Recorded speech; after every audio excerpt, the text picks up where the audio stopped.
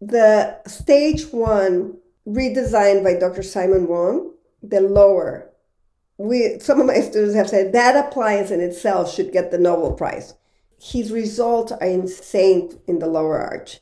And he has case after case after case, and this is a consecutive sample, so it's not like he's taking out the bad cases. It's like every single case, it's in the sample. And when you look at that, you go, there's no reason why every single orthodontist on the planet should be using this appliance and expanding everybody's lower arch. Dr. Sandra Kahn, thank you so much for joining me today on this Jawcast episode. It's an honor to have you. Of course, you are the author of this book here called Jaws Story of a Hidden Epidemic, which has been hugely influential in the space, hugely influential for me personally. I have often thought of this book as so I've heard Dr. Mew say frequently they will not accept uh, the evidence I've put forth that malocclusion is primarily environmental and not genetic. Do you think this book successfully makes the case that malocclusion is primarily environmental and not genetic? Absolutely. I think uh, we gather the, the evidence and we're uh, published by Stanford Press. And they have a very um, thorough system of proving or, or asking for you everything you say to be proven. Although we do have to take in mind that books, you can write anything you want in a book. And the publisher, if they like the book, they will say yes. What's really been the, the what in Spanish we call it parteaguas, the, the cutting of the waters, has been an article on bioscience. I don't know if you're familiar with the article. But the article, to be published in, in a journal like Bioscience, you really have to do your homework. And I, I gather that number one geneticist in the planet, Dr. Mark Feldman, who's a member of the National Academy of Sciences, and Robert Sapolsky, also a member, Paul Ehrlich, um, alternative Nobel laureate, so the, these are three authors that are not controversial in, in any way. Whatever they say is always backed up by serious science. So the, the article on bioscience, um, the causes and cures, I forget the title, but in, of malocclusion, that's the definitive work that, based on all the scientific research, uh, proves that malocclusion and development of the jaws is mostly environmental. Not completely environmental, but mostly uh, environmental. The genetic part is really not there because it would take millions of years for us to evolve to have, you know, malocclusion. So um, that's where the real evidence is. That came after the book, but the book is basically um, everything we say in it is is uh, supported by serious science. Thank you. And so perhaps we could talk a little bit more about the thesis of that article. You know, maybe you could explain what would be your elevator pitch of the conclusion or the summary or the abstract of that article. And perhaps you could use this as an opportunity to explain uh, uh, the complexity between the relationship between environment and genetics when it comes to uh, how uh, jaw structure has devolved over the centuries and millennia. Well, I, basically, let me open up the article here because sure. it's been a couple years. So here's our bioscience article, which I'm happy to share with you guys. It's called The Jaw Epidemic Recognition Origins, Cures, and Prevention. And basically, that's what we're saying in the article. We, we know we recognize that there's a problem. The problem is quite modern, and we want to know where it started and what to do to cure it when it's happening and also to make sure it doesn't happen when it's not there. So, you know, I don't like the word prevention um, because prevention really is focused on a problem. And medical science, um, at least in, in our industrialized world, focuses on a disease and curing that disease. It doesn't focus on fostering healthy practices in order to be healthy. So we look at disease, we don't look at health. So prevention is, has that connotation, but it definitely what we did in this article was recognize that there's a problem. So we did put out all the evidence of the problem and where the problem started And then we said, if we don't want this to be permissive in society, these are the things that we can do. And by recognizing that there's a problem and knowing that the problem is really has to do with our practices, um, our lifestyle, then we can start taking out the, the parts of that lifestyle that are not conducive to health.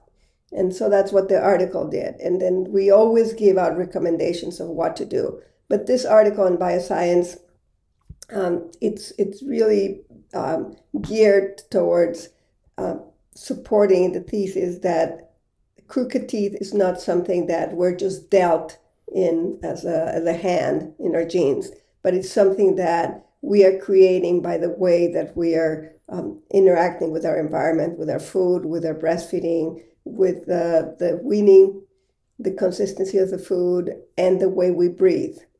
Mm-hmm. And could you dive into a little bit more detail about what are the major uh, in, uh, environmental uh, mistakes that we're making as a species that's causing this devolution in facial structure? You already mentioned a few very briefly breastfeeding, uh, food composition, maybe some other things. Dr. Mew talks about how indoor living is, is a problem because of uh, you know the concentration of allergens. What, in your opinion, are the major causes here? Well, Dr. Mew is, is brilliant. Um, Dr. John Mew, he really has focused and put our attention, geared our attention towards the real causes of the problem.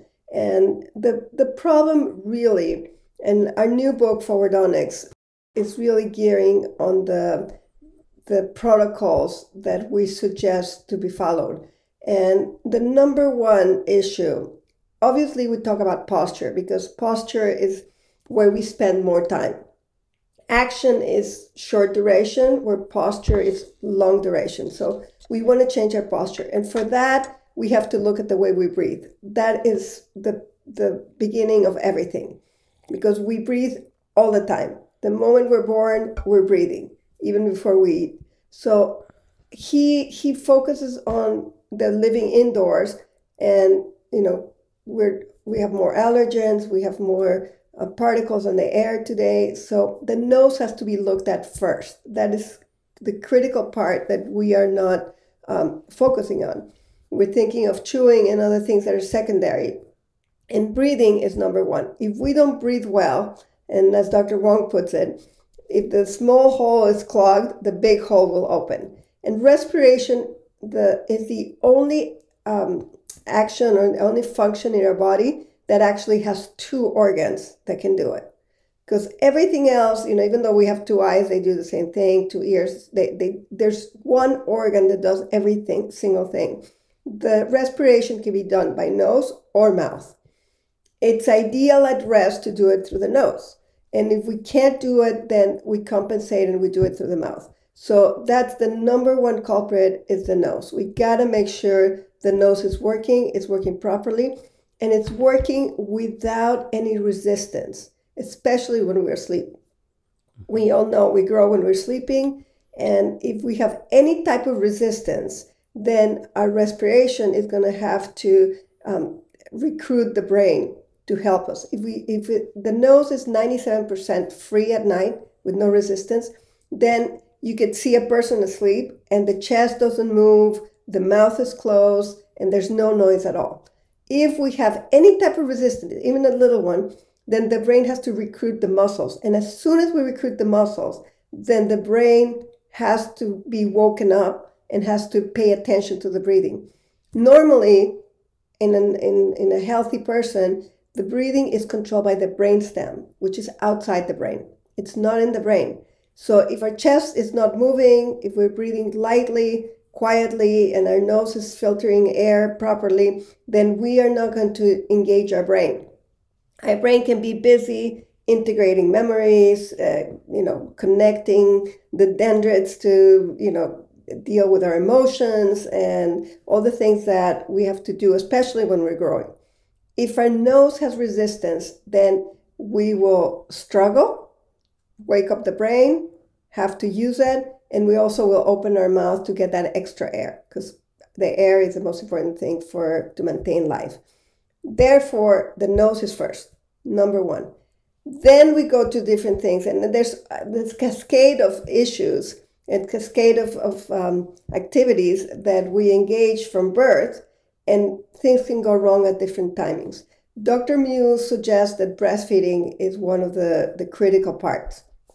If we don't breastfeed long enough, if we don't breastfeed properly, then we are going to not help our jaws in development. What I feel that is more critical, and this is completely anecdotal, we have to separate what's anecdotal and what's scientific. But I like a phrase Dr. Mew uses, which is one case doesn't prove anything, but it can explain everything. So anecdotes are not great for proving anything, but they're good for explaining how things happen. In my opinion, the weaning, the introduction of solid foods is critical, even more than breastfeeding. Breastfeeding is important, but for me, when we go from breastfeeding into solid foods, that is where things really go awry. And that's when, you know, in modern life, we take a spoon, we put it in the mouth with pop or something that's super mushy, and the the babies don't, they don't want this and they don't know how to manage it. So what they do, I don't know if you have kids or if you've seen babies, but you put in the spoon and they, we teach them how to slurp because they're not ready for that mush. And as a as proof, you can see the babies get the food all over their, their face and we clean it up and we shove it again.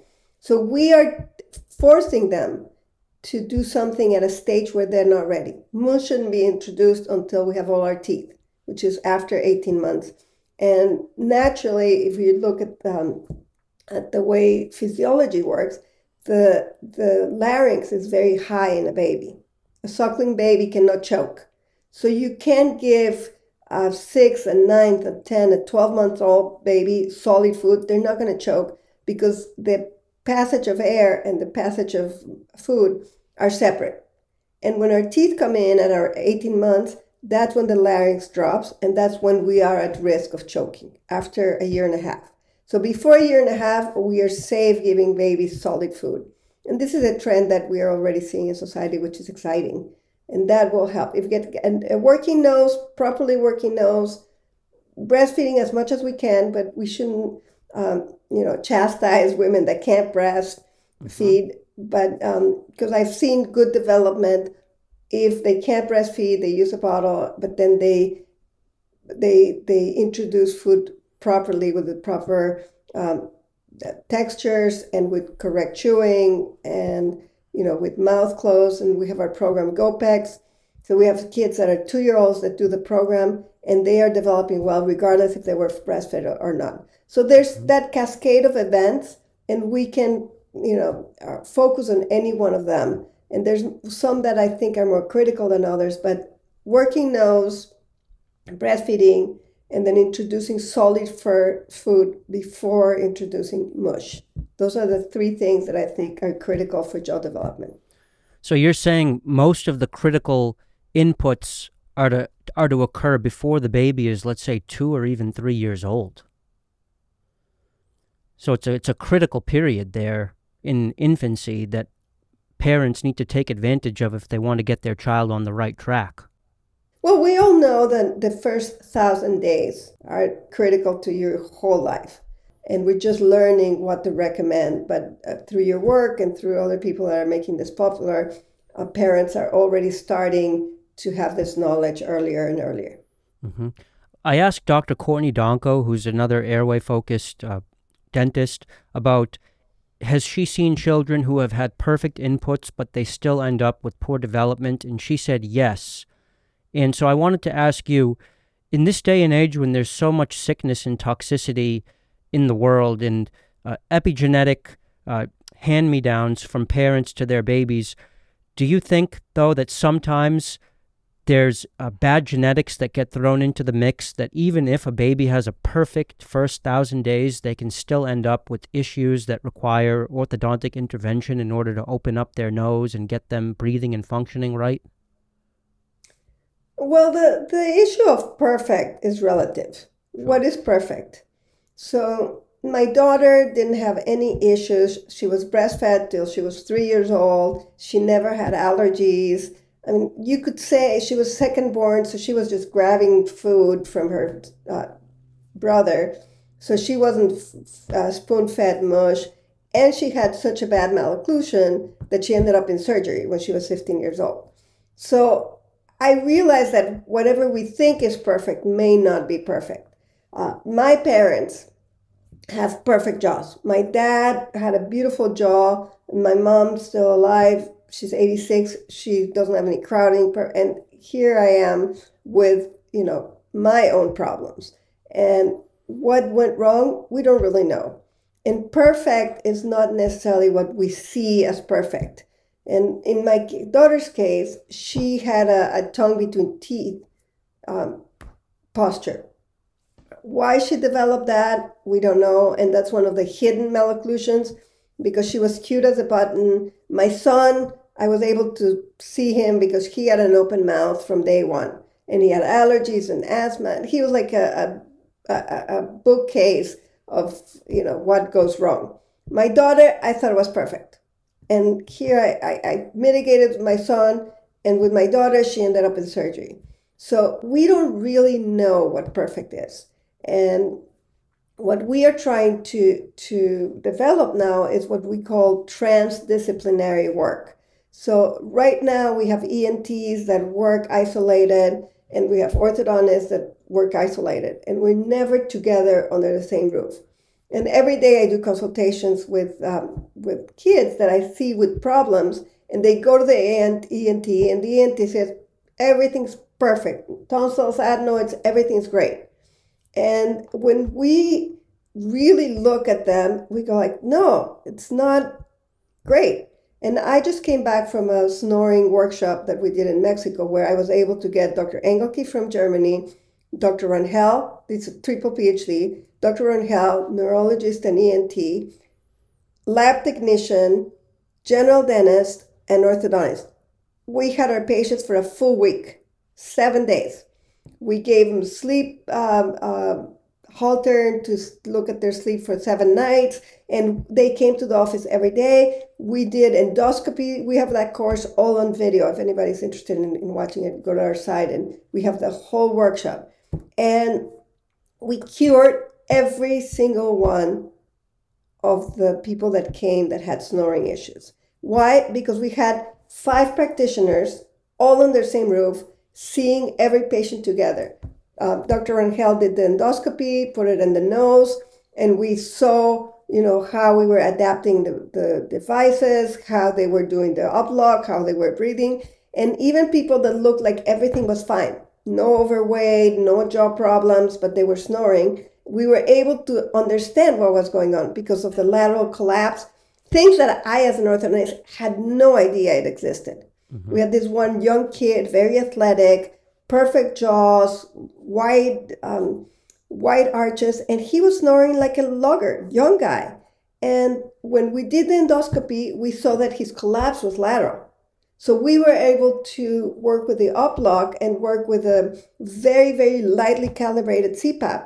And the lightly calibrated CPAP is critical because here at Stanford, they give people their CPAP and they have their mouth open and they just wear the mask, or even when they wear the, the nasal um, cushions, they have their mouth open. So they're losing half of the pressure. So if you calibrate it properly, you teach them how to do the uplock, which is, you know, when you put your teeth together and you swallow, you take all the air outside your mouth and your mouth stays closed by suction. If you learn to do that, then your CPAP can be calibrated very lightly. And then the CPAP becomes an asset that is very comfortable to use. So we were able to work all these things together because the ENT doesn't know what I'm doing. I don't know what they're doing. The lab technician is doing something in a different room. So we had everybody together and we had the patient and the five of us looked at the patient together. And that was amazing. I don't know if that can be uh, replicated anywhere else, but that is the key. So again, to answer your question, what is normal? We don't know because the absence of disease doesn't mean things are normal. The fact that this is and normal, it could be normal because that's the norm, but that doesn't mean healthy. So normal doesn't mean healthy. And the fact that somebody sees that their baby says, I had a perfect uh, thousand days, but they have an issue, maybe they didn't have perfect thousand days. Maybe they you don't really know what perfect was. Mm-hmm. And we're trying to have guidelines so that you can get as as as best as possible. But in in what I see in modern life, there's no perfect because like we're walking around with shoes. Yeah. Just by the fact that we have shoes, we're not healthy. We need to touch earth with our foot, with our skin every single day. And I'm not a holistic, you know, hunter gatherer type person. Uh, I, I'm in modern life, but I do understand there are things that we're doing. I was just, uh, I had a lecture this morning and we talked about the evolutionary times. Man, modern man has been in the planet for 200,000 years. Modern history is about 5,000 years. Mm-hmm. Just think about the percentage. And the, the way they do it now is in a, if you think of a clock, a, a 12 hour, uh, the span of modern life is less than half a second in that 12 hour clock. If you mm-hmm. think of the time of Earth. Um, so the time that we've been modern using shoes is tiny. You know, agriculture 10,000 years ago. Modern men 200,000. So you think about how many uh, millennials we were walking barefoot and breastfeeding and living outdoors, and that was normal. We're not going to get back to that. It's mm. it's impossible. But we can mitigate things that we you know live with the comforts of modern life, live indoors, but make sure we have a working nose, make sure we feed our kids properly, and when things go the wrong way, we have to mitigate early. Dr. Marisa Santos, I don't know if you've uh, interviewed her, she's fantastic. She's my favorite practitioner in the planet. She's out of uh, Buenos Aires, Argentina. And she basically treats a lot of two years old, two year olds. Mm-hmm. These two year olds get expansion, get posture, get GOPEX, get their backs lined up. She just does everything when they're two. And by the time they're three, three, they're perfect. So she's even working within those thousand days with mitigating things that are already wrong in two year olds. And she says every day she gets kids that are looking worse and worse that are two and three years old. By the time they're four, there's so much to undo from where they should be. But it can be done. It can be done, and it doesn't have to be hugely stressful or painful. She she has a protocol. It's one year, and he, she gets kids where they need to be. It's mm-hmm. fantastic. Mm-hmm. I've been asking this question a lot recently. How early is uh, early enough to put an expander into a child? You just mentioned two years old. That's the number I've been hearing from others.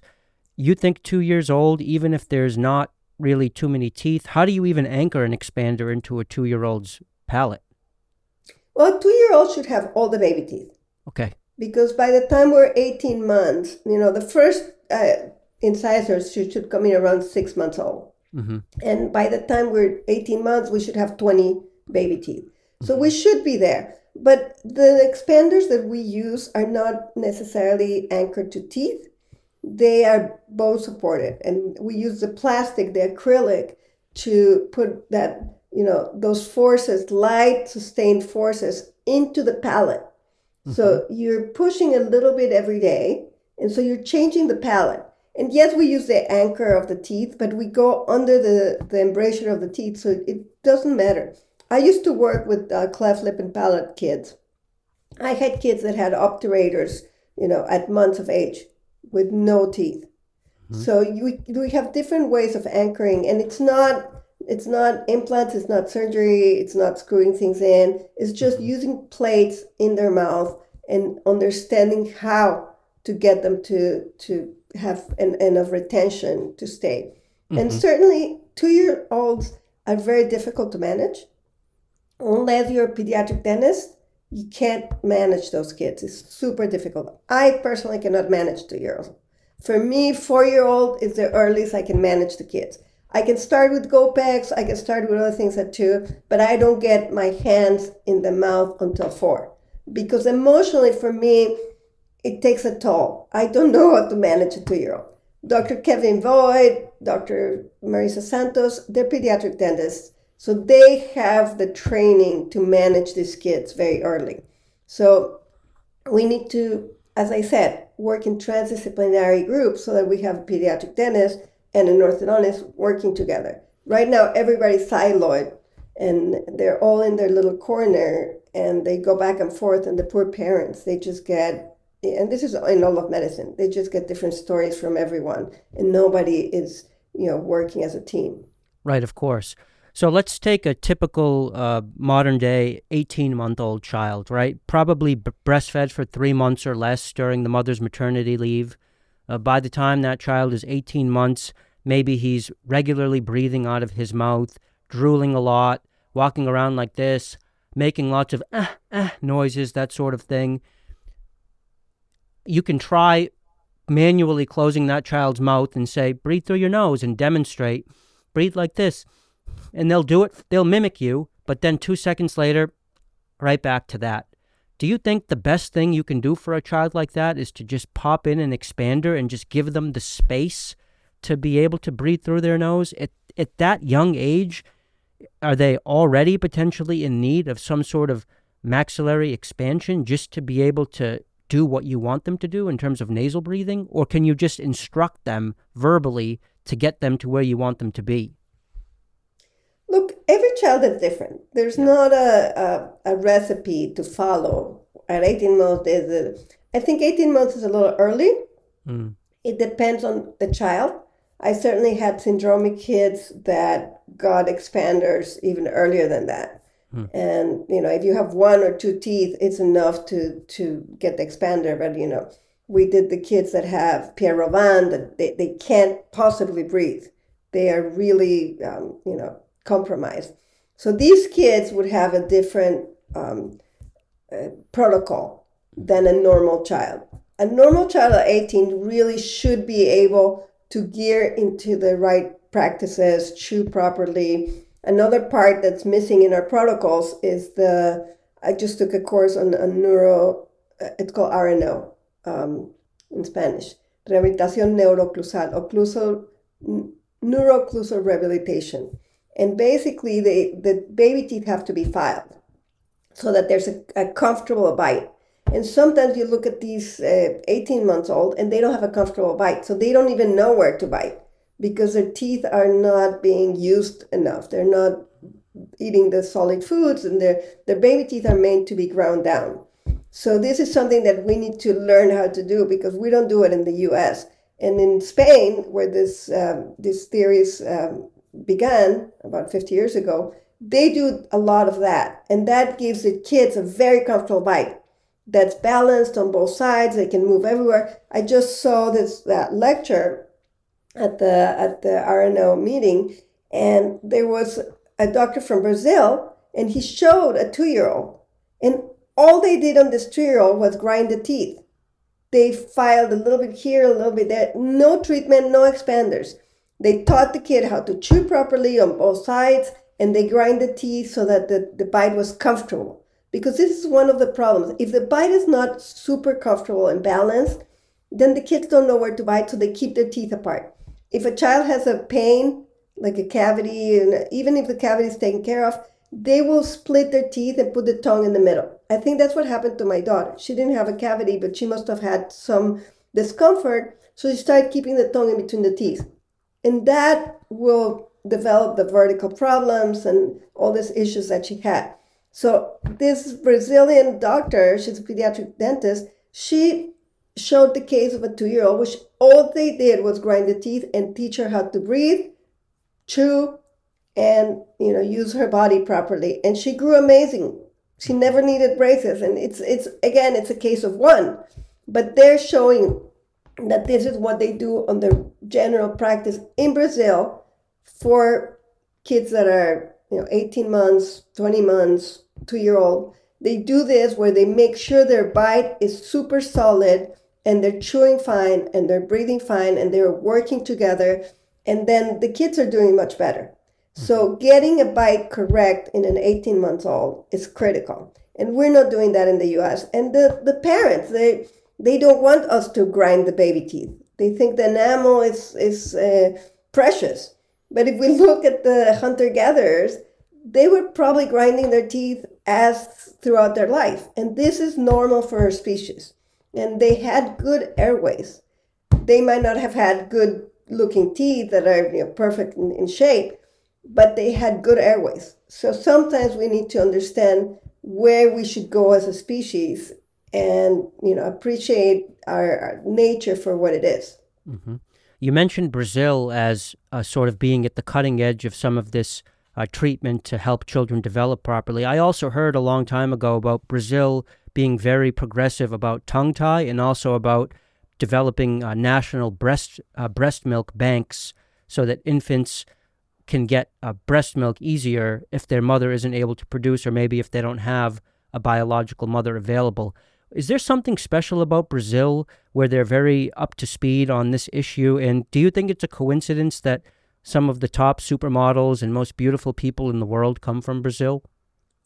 It's true. They they, they have a, a very interesting mix of race and and um, they have things like um, I know I've studied with Esther Gokhale for posture to for our posture programs, and she says the number one exercise you can do is capoeira which is kind of like martial art, and that was developed by the slaves um, to do their their martial arts and be able to defend themselves, but they were, you know, kind of uh, disguising it as a dance. So this capoeira thing, she says, it's amazing for back health, and so they do have traditional, you know, practices that are good. Um, you mentioned tongue tied. I'm not a big fan of tongue ties. Um, I don't regularly see it. I don't have a, a, clinical practice right now, but even when I had a clinical practice, I didn't do a lot of them. I didn't see a lot. I know some of the uh, doctors that see young kids, they see the tongue ties as a problem. I think it's a little bit of an overkill because it's hmm. something the doctor can physically do. And I, I don't know. I don't see it as a problem unless it's associated with speech or breastfeeding early on in life. But mm-hmm. if that's not a problem, I don't see tongue ties as a big problem. I know the Brazilians do a lot of myofunctional therapy. And myofunctional therapy has its place and, you know, done well as part of, uh, of other therapies can be very helpful. And they, they do have a, um, a national program where you have a lot of myofunctional therapists um, uh, looking at children. You talk about a breast milk bank and I'm I'm not a neonatologist. I'm not a pediatrician. I'm not a, a, a lactation uh, consultant, but I. So I'm not going to discard the value of the chemical composition of breast milk. It's huge in its value. Mm-hmm. However, in child development, you need to get it from the breast. It mm-hmm. doesn't help if you get it from a bottle, even though if it, it's breast milk from a bank. And that happened to my son firstborn. I had no maternity leave. I was in the practice a week after my C-section. I was seeing patients, and I was, you know, I would take him with me, but then I would use the pump, and then somebody else would breastfeed, or my my husband will give him um, the breast milk at night, you know, so I could get a night's rest.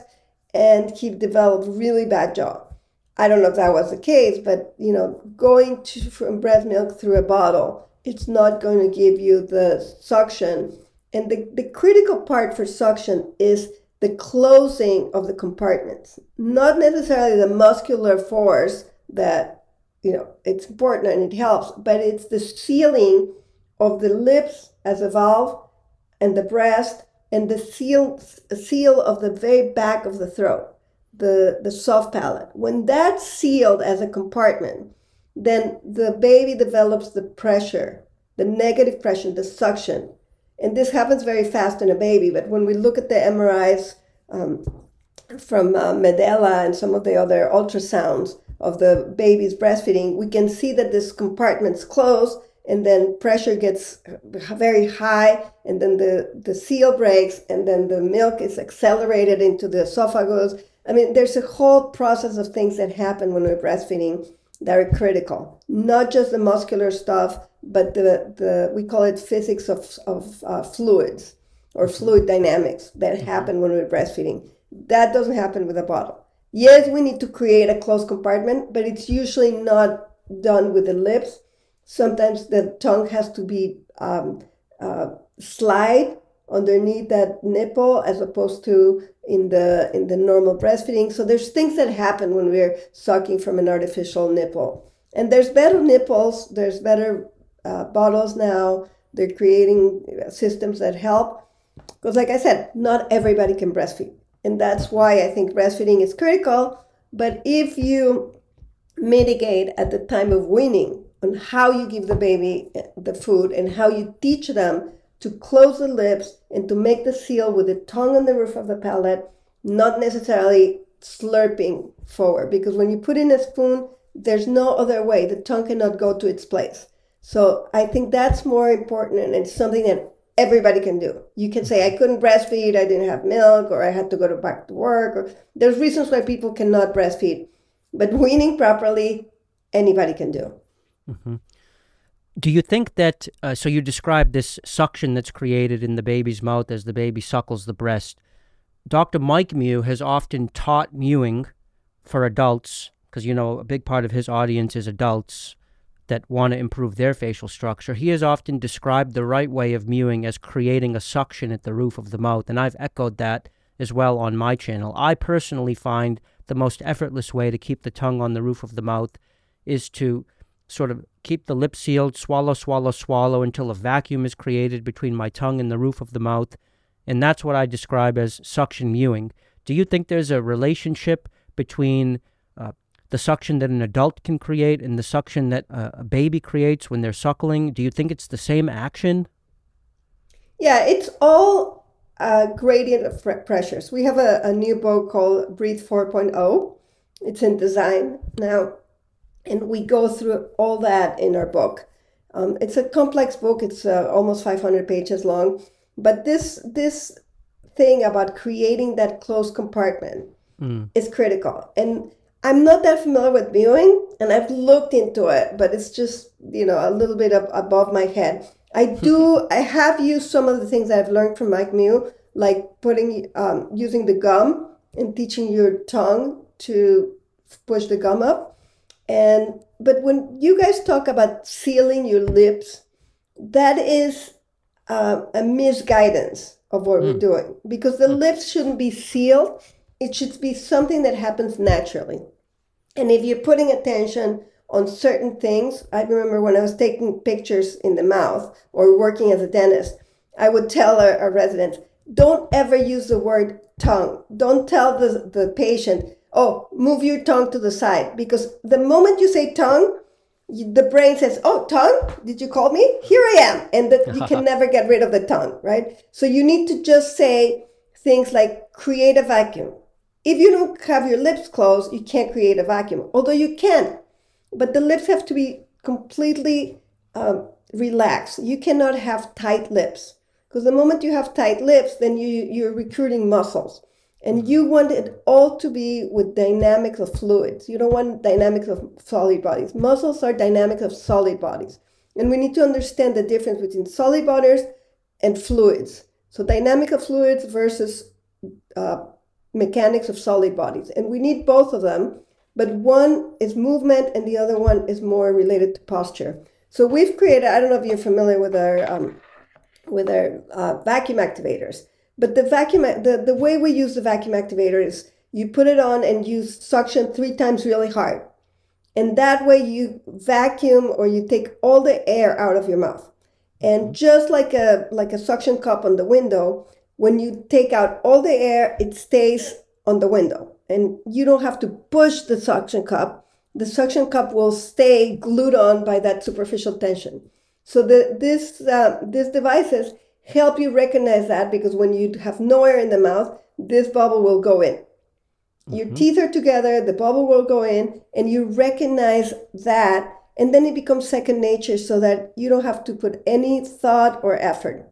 Another thing that I see as a problem is when we talk about put your tongue in the tongue point or in the spot. If we think about putting it the tip of the tongue, first of all, tongue doesn't have a tip the tongue is a U. We can make it into a tip, but it doesn't have a tip. It's not like a tail. So when we tell people to put the tongue tip, then we are going to keep the back of the throat open. If we just go like suction, then the whole tongue will go up and the soft palate will also get glued on and the airway will be left um, open and the negative pressure inside the mouth will translate into the suction, the natural suction of the nose. So when you have negative pressure in your mouth, your nose will work more efficiently. Mm-hmm. And this is also what you know we're doing with our patients, where we teach them how to suction your teeth together, and when you suction, you make a lot of pressure. The suction sometimes is 200 millibars of negative pressure.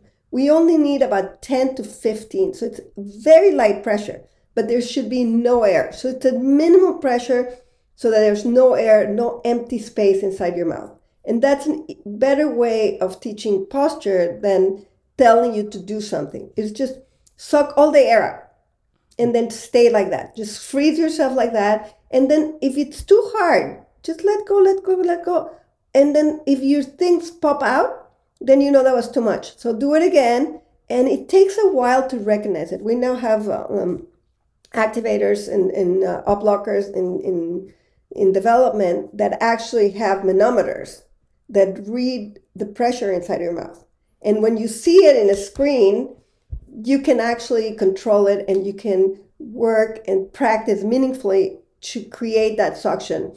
And I'm very excited that our new our new uplocker is connected to, to Netflix and to other TV and, and video games and different things like that. So that when you have the you're in the right zone of pressure, your Netflix show runs. So it's really fantastic because we all want to sit down and watch our TV. And mm-hmm. if we can do something that requires no effort, but we're just meaningfully getting there and staying there for 10, 15, 20 minutes, that's enough to make it, you know, recognized by your brain as the best position to rest. Mm-hmm. And then when you go to sleep, you will rest with no air inside your mouth. And that would make your, your breathing very efficient gamifying these things is always extremely uh, uh, helpful, especially to the younger generation. So I think that's very clever. Is that a uh, tool or appliance or whatever you might call it that uh, teaches the habituation of suction? Is that available for adults? Does that require a prescription? Where can people uh, buy that? Well, this you can get through our site in Forwardontics. This is the manual one. Yeah. And it's very simple the problem with this is that people tend, including myself, we tend to do too much with it. We always think the harder we work, the better. And it's not necessarily like that. So when you use it, you sometimes need to get an external manometer and measure what's going on.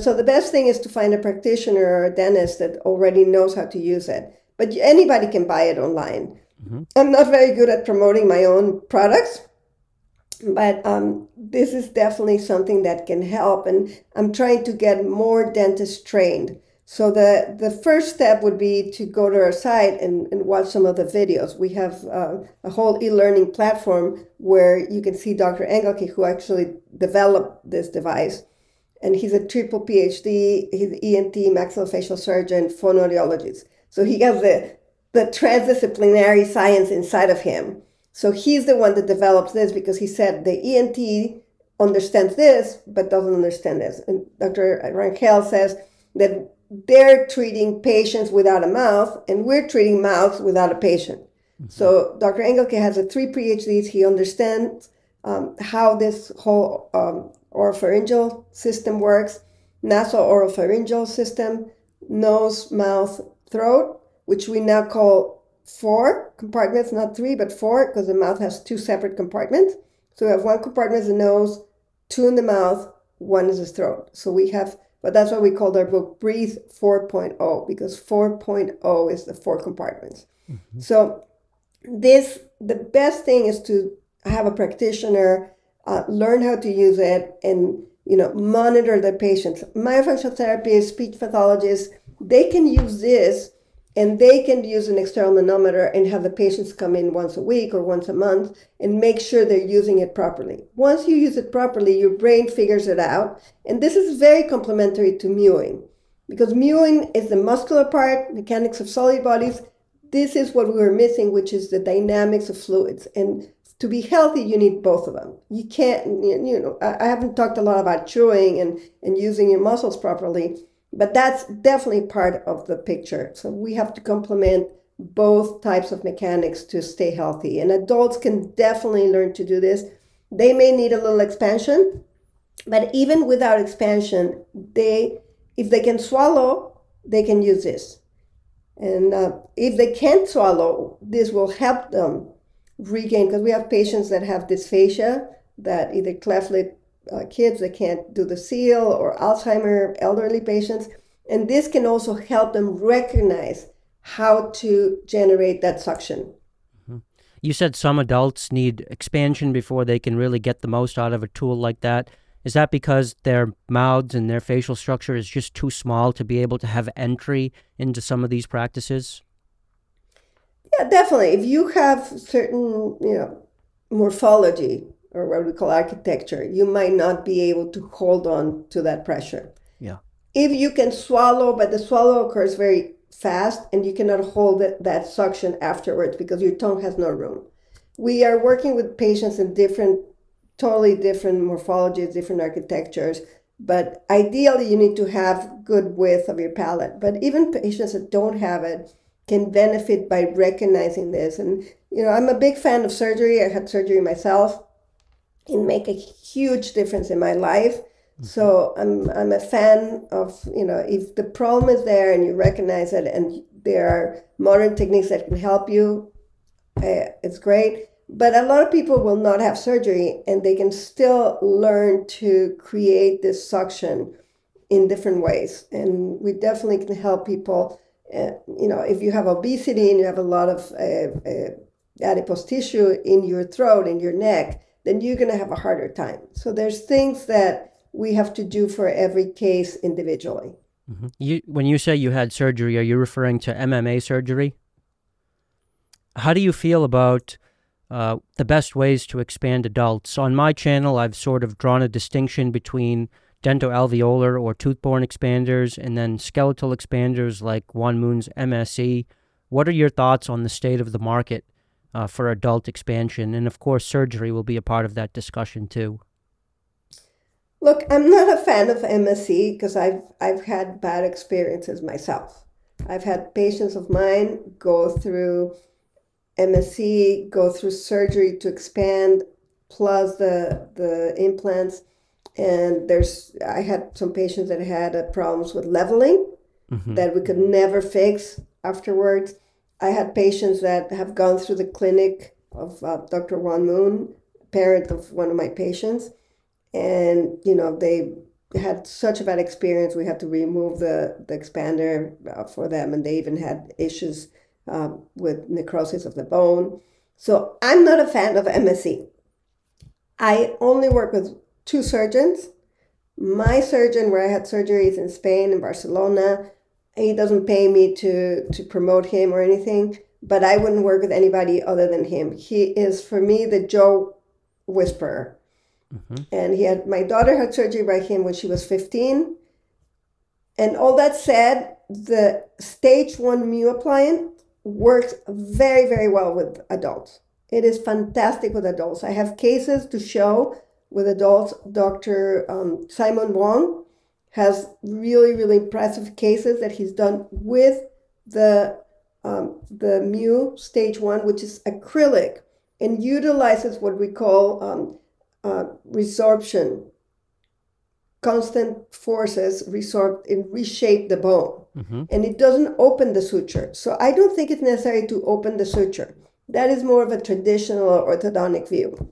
Mm-hmm. So I'm a fan of doing the expansion with the stage one Mew, even in adults. It works fine.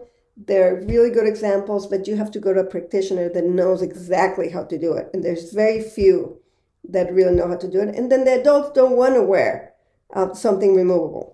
And right. it's not really removable. It's a, you remove it just to adjust it, but you have to 24 7 use it. And most adults, I wore it myself. I did my expansion before my surgery and it takes a while before people can understand you. And if you have a job that requires you to be very um, you know very understandable when you speak it just it's tough for adults. So they rather have something with implants that's screwed in. And the profession is very happy to do it and not deal with compliance from the patients. Mm-hmm, mm-hmm. So I'm not a fan of mse That doesn't mean it can't be a good treatment in the right hands, but I personally will not go through it because of my experience. Right, I agree with you. MSE is like a stick of dynamite in the mouth. It can be used to do good things, build highways and, and so on and so forth, but it can also be very destructive. And on my channel, we've been very transparent about some of the risks associated with MSE. I had I've had a few guests on now that have showed grotesque asymmetries uh, where one side was expanded, you know, a centimeter and the other side hardly moved, and now they're in a total uh, Brodie bite on that side, and it's like uh, facing an, an orthodontic Mount Everest to fix that. Uh, and so, the leveling, the leveling is insane. Right, it's like a three-dimensional asymmetry where not only do you get a side-to-side sort of extreme crossbite in some cases, but you get, like you said, this cant that forms where one side, usually the side in my experience that expands more, drops as well. Uh, that being said, assuming the field can tighten itself up in various ways through improvements, so on and so forth, do you think that MSE has the potential to be a useful tool if we can sort of rein it in? Or do you think that using a metal expander, uh, TAD, TAD assisted expander to split the midpalatal suture, do you think it's an inherently flawed approach that's a dead end? Look, uh, Dr. Federico Hernandez Alfaro in Barcelona, he has a technique. It's 10 minutes in the chair with an expander that's 3D printed for the patient. Mm-hmm. And, you know, he goes in, there's a video online that, you know, if you send me an email, I can send it to you because I show that a lot. And it's a 10 minute procedure. And he has it right because he does a split surgically and then he puts the implants and then he guides it and then just holds it. And I find with his technique, you really control everything because you do it all surgically and you just hold it. You're not exploding things. So if right. um, if the profession wants to learn what he's doing, which is a 10 minute in office procedure, it's not in the OR.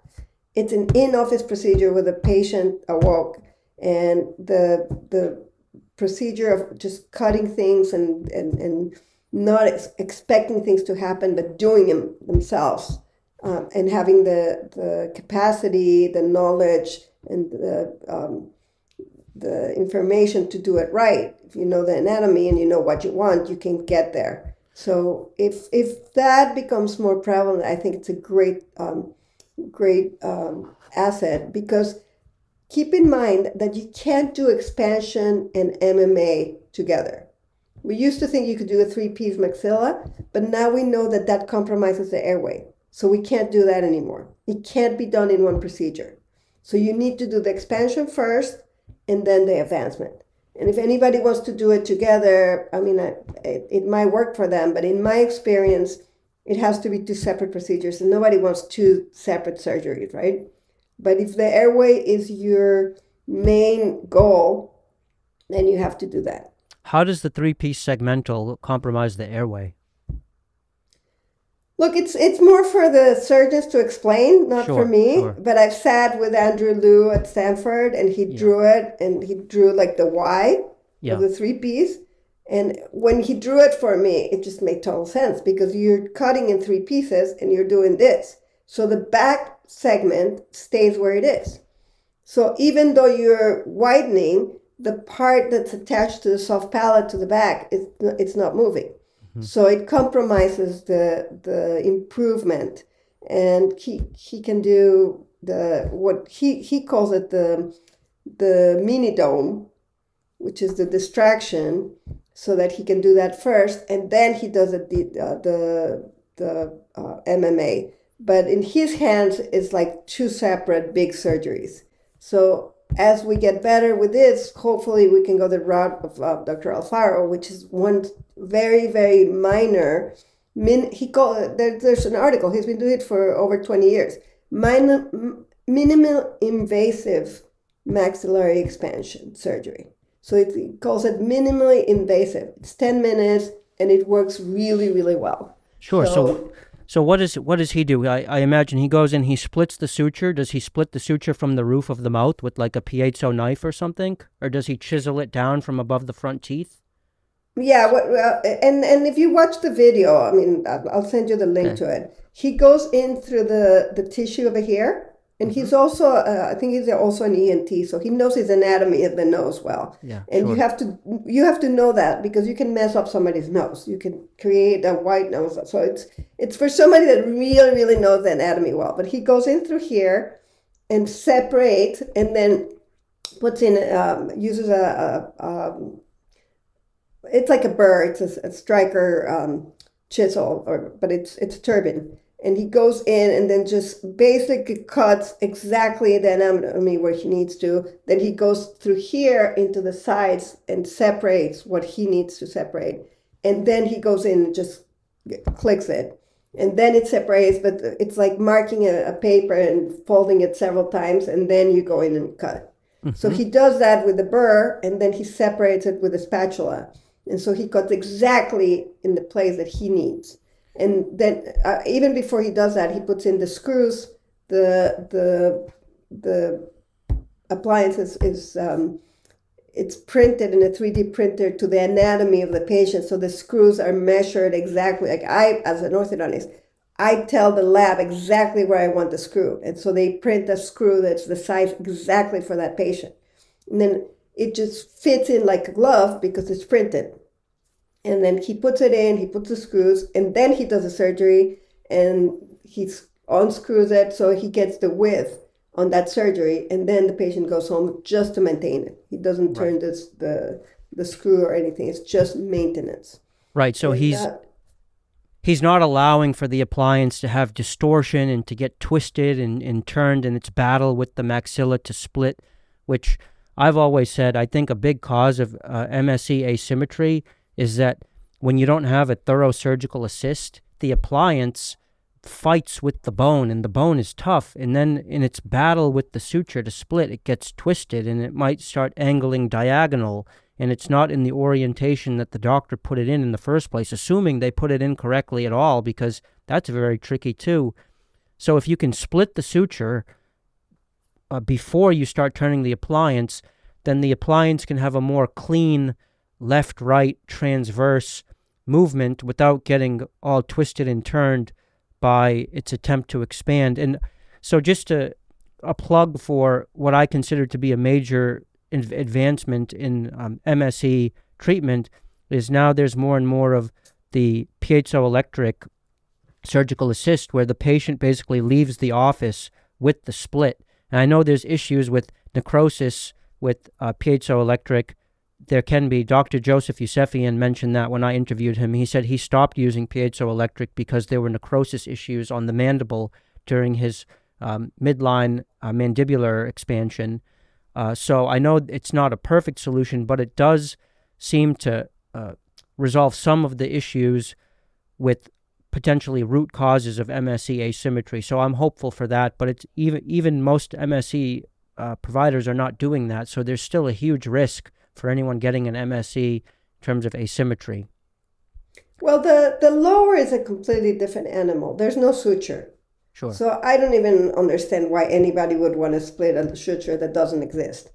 But the stage one, redesigned by Dr. Simon Wong, the lower, we some of my students have said that appliance in itself should get the Nobel Prize because the results on it are insane. And Dr. Wong has case after case after case. His his uh, cases are being looked at by the number one researcher in vertical growth um, um, in um, in Texas A&M, and his his results are insane in the lower arch. And he has case after case after case, and this is a consecutive sample, so it's not like he's taking out the bad cases. It's like every single case, it's in the sample.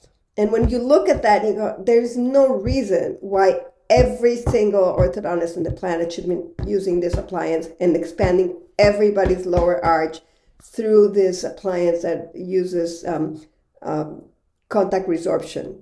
Because it changes the whole morphology of the of the bone and we can change our bone at any time in our life.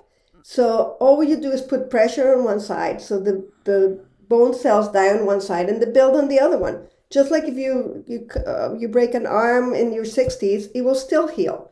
So this appliance is fantastic, and the patients wear it. It's zero intrusive. You don't even know it's there. It's a fantastic appliance, and it frustrates me that every single orthodontist is not using it. Like my student in Spain, she said, this appliance should get the Nobel Prize because when you start using it, you realize it changes everything.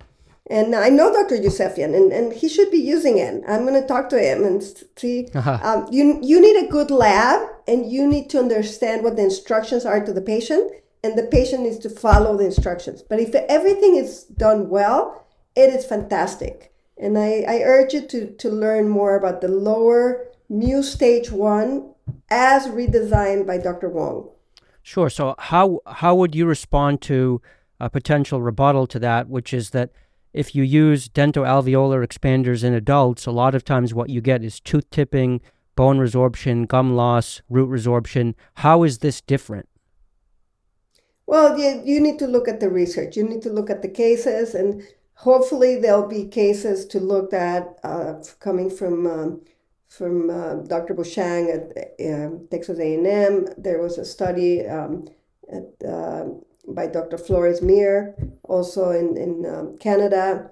So you got to look at what's going on, and when you look at the photographs, you know that this is not dental alveolar because we use the plastic. The plastic goes down onto the bone. We I do see. hold from the teeth, but really the resorption is, and you can see the horseshoe of bone changes. Mm-hmm. So this is not dental alveolar. And the trick is to design the appliance well, because if you take a, a natural orthodontic appliance, it is dental alveolar. But this appliance is based on Dr. Wong is not even an orthodontist, he's a general dentist, and it's based on general dentistry principles, the principles of, of dentures. So you eat with it. If you don't eat with the device, then it's not going to work. It's going to be dental alveolar. But if you eat with it, then you're transferring all these mechanical forces into the bone to change the bone. So you got to understand the principles. Um, the Dr. Wong has so many courses, so many things online. Um, Dr. Mew has books showing this, and uh, his book, uh, Causes and Cure of Malocclusion, is an amazing book. And he's looked at the biology he understands the histology of the cells, the bone cells, and it's just it's there. But we are comparing apples and oranges. Dental alveolar orthodontic uh, appliances are no good. This is not a dental alveolar. It's a it's mm-hmm. a bone um, anchored device. Mm-hmm. Mm-hmm. Yeah, we're huge fans of Dr. Wong on my channel. I think uh, two or three weeks ago, I had a video demonstrating some of his 155 consecutive cases, and I have another one coming out soon. So, you know, we're huge fans of his and uh, totally give him all the props and respect in the world. Um, so I, would be interested to learn more about how this distinguishes itself from other tooth-borne expanders, which my in my experience, in my own personal experience as a patient, but also the consensus that I've gathered from anecdotes uh, from dozens and dozens of patients that I've spoken with is that tooth-borne expanders, unless they're very carefully used or unless it's very carefully designed, um, are very limited and have the potential to do more harm than good. And in general, I've advised against them, but I'm open to learning more about this uh, perhaps more refined version, or it, or it might look like a tooth-borne expander, but it's actually not, as you're suggesting. So I'm eager to learn learn more about that. Yeah, I mean, you you said the key. It has to be carefully designed. Mm-hmm. And I don't know if you follow the seven habits of highly successful people, but you have to have an end in mind. And then you also have to sharpen the saw. Mm-hmm. And we don't do that. If you just say, okay, I'm going to learn this really quickly and put it in because I have no time, it's not going to work. If you're going to do it, you need to sharpen the saw and make sure you learn and you understand. And the, the it's frustrating for, for providers because there's no lab technicians that can make these appliances. Dr. Wong uh, trained his own lab, and I don't have a clinical practice anymore because I don't have a lab. That's the reason I stopped is because it was just too demanding on me. I didn't have a good lab, and that lab has to be impeccable. And the good labs, they will not work with you because they already know everything. So they polish the appliance really nicely, they bend the wires nicely, but they don't understand the principles of general dentistry. So this is a two professions, and only Dr. Wong was able to to solve the, the puzzle because he's a general dentist and he did dentures that you need to use for chewing. So he knew how to redesign the appliance so you could eat with it and it would be non-intrusive. Orthodontists, we don't care we throw things, and if you know, if they're intrusive, we'll just find a screw to make it permanent. but this appliance has to be removed for the correct uh, activation of it. It cannot be fixed. And orthodontists, we don't like to remove things. We rather screw 10 screws in somebody's head than teach them how to manage an appliance. And the labs are the same. Mm-hmm. Yeah.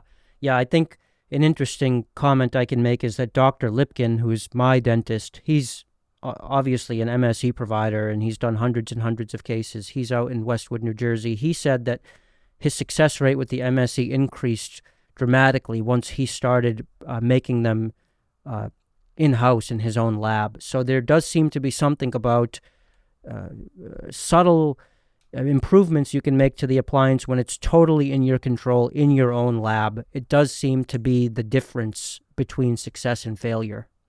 Mm-hmm. So I wanted to ask you, Doctor, and we'll wrap up uh, shortly. Uh, another plug for one of your inventions, the Forwardontics Bow face mask. So you don't like MSE, but so how do you feel about the fact that your your bow face mask is a fan favorite amongst MSE using adults? I think it's fantastic because it's a tool that was non existent. The only reason I created it was because I needed it.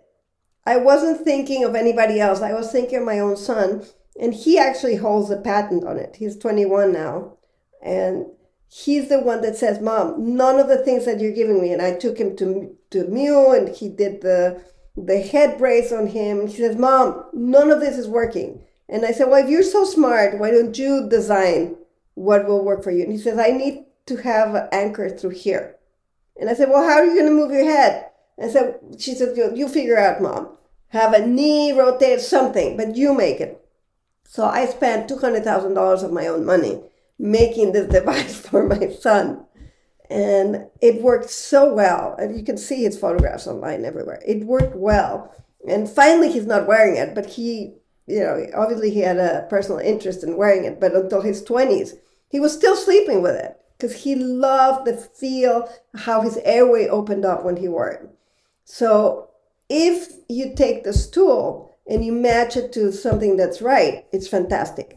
And if you have MSE that's right and it works well, I'm very happy. I know that um, the DNA appliance people they use it a lot, and and the DNA.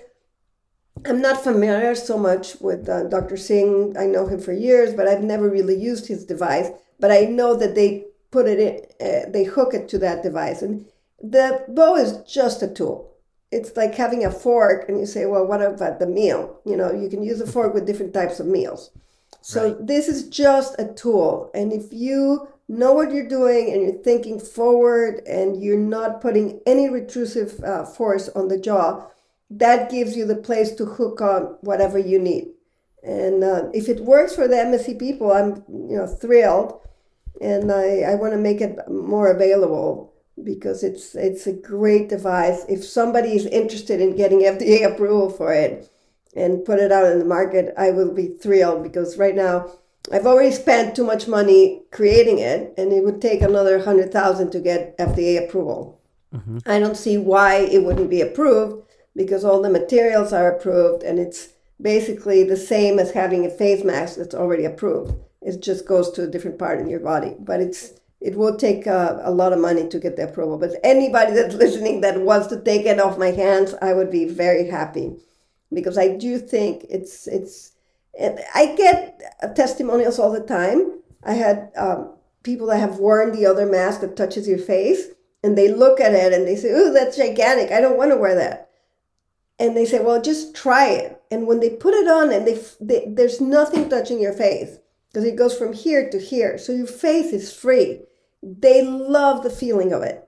And uh, people that have already worn either a Petit or a Delaire mask that anchors here or here in your face, you know, the ones that anchor here, the Petit is the easiest one for the orthodontist to wear, but it really damages the tissue here. Mm. And it pushes this down. So you get this vertical growth. Mm-hmm. And, you know, the people that, the kids or the adults that have worn it before, when they move, they totally, you know, they adore the, the freedom of the, of the bow. So. I, I can't say enough good things about my bow. It's my it's my first child. That's amazing. I can't either. I've always recommended only two face masks: the crane that connects to the neck, but it's very difficult to get.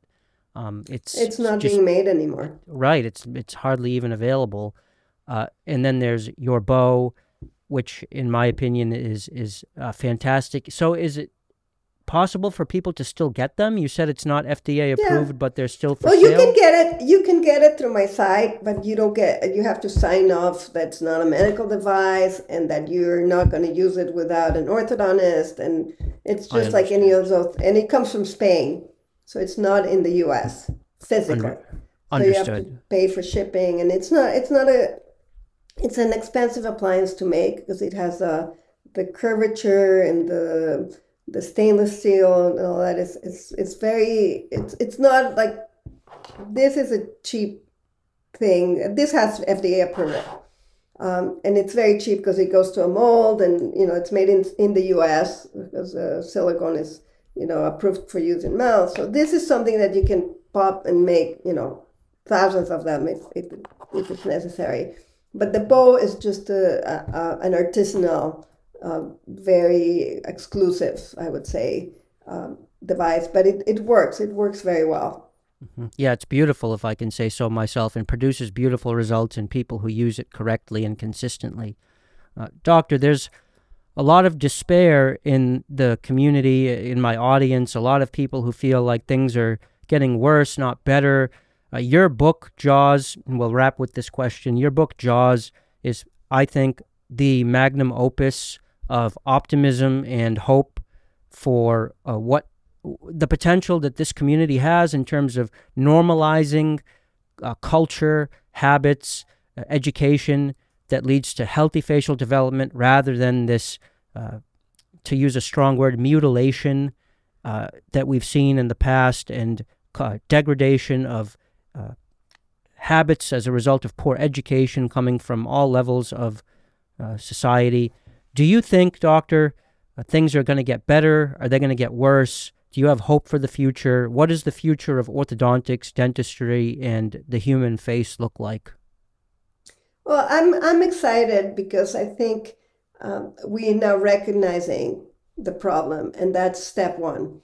And my device with the Bluetooth is really going to take off like fire because when you attach it to your Netflix series, there's no way anybody is not going to use it. And it's also, we are going to do a Kickstarter campaign, and the device is going to be um, very, uh, very strict about wanting to make it a hundred dollars, no more than that, with the electronics and everything, because I want everybody to be using this. It's not about the business; it's about making it available. If it costs me a hundred dollars to make, I will sell it for a hundred dollars. So I want that to be available. I think this is going to be huge we finished the book Breathe Point uh, 4.0 with Dr. Engelke. That's coming up, and I'm writing a new book with Dr. Um, with again with Dr. Ehrlich and with um, Dr. Rangel. It's called NOSE, capital N, capital O for nitric oxide, NOSE. And it's about this transdisciplinary work together with the ENT, um, the evolutionary biologist, and the, the orthodontist. And um, that book is going to take a little bit longer but it's really going to revolutionize the, the, the idea because Josh talked about this and we ignored this and now we're putting the pieces together. And we have the we'll have the information but we also have the way to get your jaw to rest in the right uh, position at any age even if you don't have enough expansion. You can still use these appliances to generate that suction. And if you teach your brain how to be comfortable with it and recognize it, it's going to really make a huge change for everyone that wants to, to have a, a good life and wants to breathe better. Mm, that sounds fantastic, Doctor. You're up to so much. I mean, there's so many different projects that you're working on, and they all sound wonderful. Is there a place where people can kind of follow you and keep up with all of your products and all of your publications? Well, our website is forwardontics.com.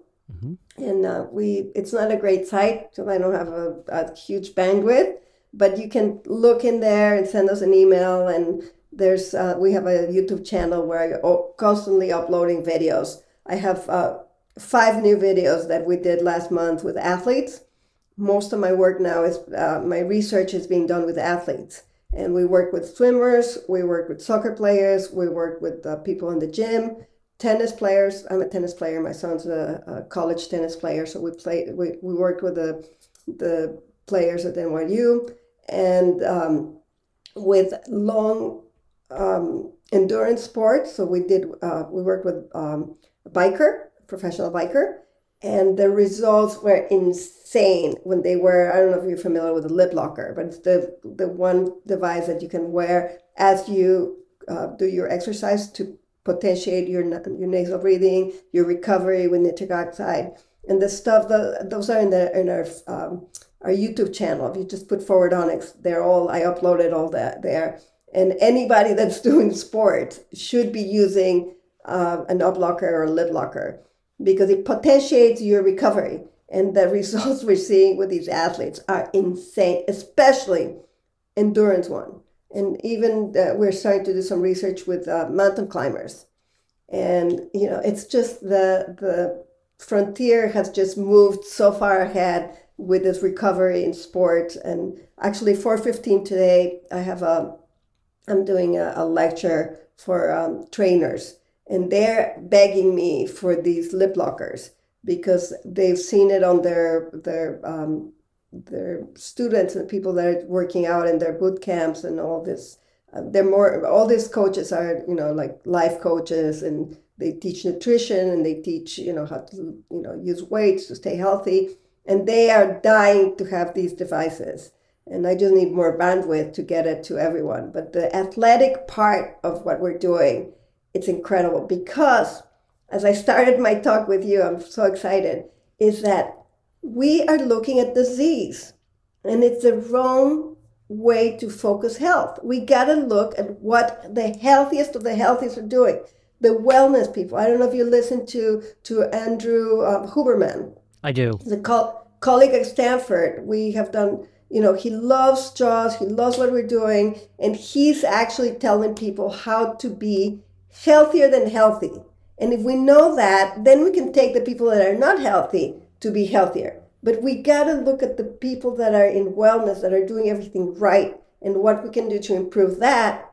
So the athletes, the, the high endurance athletes, and the, the people that are already looking at every part of their routines to make them better, if we can improve them, then we can improve the people that are not there. So the idea is focus on health, not on disease. Very well said, doctor. All links to the things you're describing will be in the description. Uh, thank you for all that you do. It's been a pleasure. It's been my pleasure. Thank you. And I'll keep following you. Okay. Thank you, Doctor. Bye bye. All right. Bye.